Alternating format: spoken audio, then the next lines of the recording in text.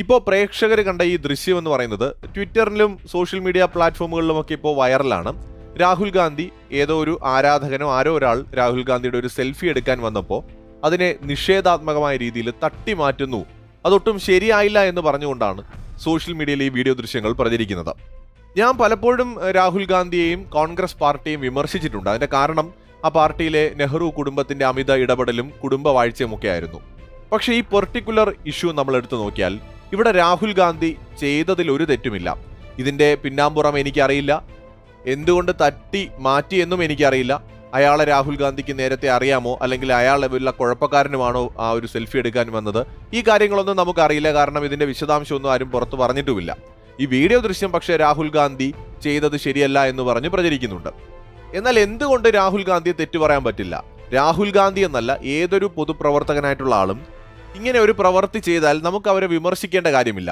അതിന്റെ കാരണം ഇവിടെ ആ ഒരു വേദിയിലെ തിരക്ക് നോക്കുക. ഒരുപാട് യാത്രകൾ നടത്തിക്കൊണ്ടിരിക്കുകയാണ് ഇപ്പോൾ രാഹുൽ ഗാന്ധി. അത്യാവശ്യം ടയേർഡായിരിക്കും നല്ല ക്രൗഡ് നമുക്ക് അവിടെ കാണാൻ പറ്റുന്നുണ്ട് ആ വീഡിയോയ്ക്കകത്ത് തന്നെ. ആ ഒരു തിരക്കിന്റെ ഇടയിൽ നിൽക്കുമ്പോഴാണ് അതായത് ഓണത്തിന്റെ ഇടയിൽ പുട്ട് കച്ചവടം എന്ന് പറയും പോലെ ആകെ ബുദ്ധിമുട്ടി ആ തിരക്കിന്റെ ഇടയിൽ നിൽക്കുന്ന രാഹുൽ ഗാന്ധിയുടെ ഇടയിൽ കൂടെ പോയിന്ന് ഒരാൾ സെൽഫി എടുക്കാൻ നോക്കുന്നു. ആ ഒരു കാരണം കൊണ്ട് തന്നെ രാഹുൽ ഗാന്ധിക്ക് അത് തട്ടി മാറ്റാവുന്നതേ ഉള്ളൂ. ഇനി രണ്ടാമത്തെ ഒരു പ്രധാനപ്പെട്ട കാരണം ഇപ്പോൾ ഒരു സിനിമാ നടനോ നടിയോ എവിടെയെങ്കിലും പോകുമ്പോൾ ആരാധകരെ കാണുമ്പോൾ സെൽഫി എടുക്കുന്നതിൽ വലിയ തെറ്റൊന്നുമില്ല. ഇപ്പോൾ ഈവൻ പൊളിറ്റീഷ്യൻസും അത് ചെയ്യാറുണ്ട്. പക്ഷേ എല്ലായ്പ്പോഴും അത് പൊളിറ്റീഷ്യൻസിനെ സഹായിക്കണമെന്നില്ല. ഉദാഹരണത്തിന് ഇപ്പോൾ കഴിഞ്ഞ കുറച്ച് ദിവസം മുമ്പ് നിങ്ങളൊരു വാർത്ത കണ്ടു കാണും. ഏതോ ഒരു യൂട്യൂബർ ആയിട്ടുള്ള ഒരു ചെറുപ്പക്കാരൻ നോർത്ത് ഈസ്റ്റിൽ എവിടെ പോയ സമയത്ത് ഏതോ ഒരാൾ വിളിച്ചുകൊണ്ട് പോയി കുറേ കഞ്ചാവ് പടമൊക്കെ കാണിക്കുന്ന എടുത്ത് വീഡിയോ ഇട്ടു.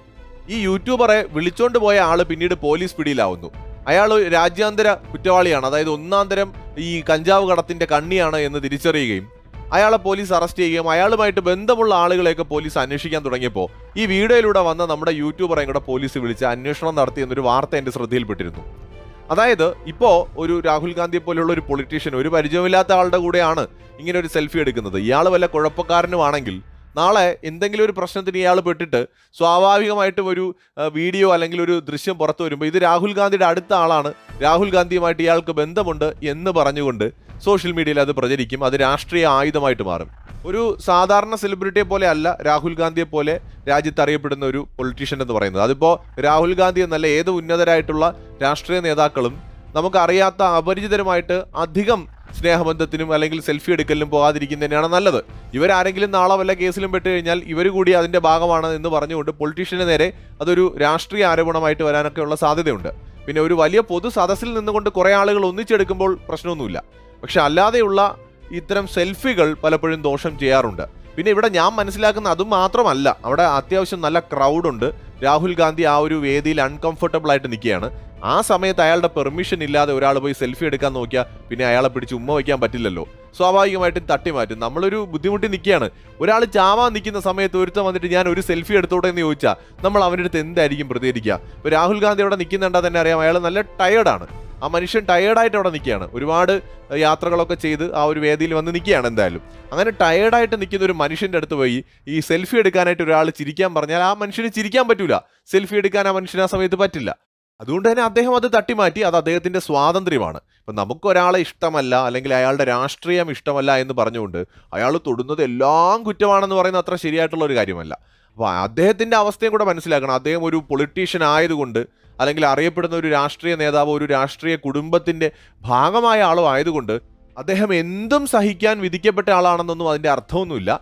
നമ്മളെപ്പോലെ ഒരു പൗരന് ഇന്ത്യൻ പൗരന് കിട്ടുന്ന എല്ലാ അവകാശങ്ങളും എല്ലാ സ്വാതന്ത്ര്യങ്ങളും രാഹുൽ ഗാന്ധി ഉൾപ്പെടെയുള്ള എല്ലാ പൊളിറ്റീഷ്യൻസിനും എല്ലാ സെലിബ്രിറ്റികൾക്കുമുണ്ട് അപ്പോൾ അത് അവരുടെ സ്വാതന്ത്ര്യമാണ്. ആരെ കൂടെ സെൽഫി എടുക്കണം? അല്ലാതെ ഞാനൊരു രാഷ്ട്രീയ നേതാവാണ് അല്ലെങ്കിൽ ഒരു എം പി ആണ്. അതുകൊണ്ട് കണ്ണി കണ്ട ആർക്ക് വേണമെങ്കിലും ഞാൻ സെൽഫി എടുക്കാൻ വന്നാൽ ഇനി എനിക്ക് എന്ത് ബുദ്ധിമുട്ടുണ്ടെങ്കിലും ഞാൻ നിന്ന് തരണമെന്ന് ഒരു നിയമവും ഇല്ല.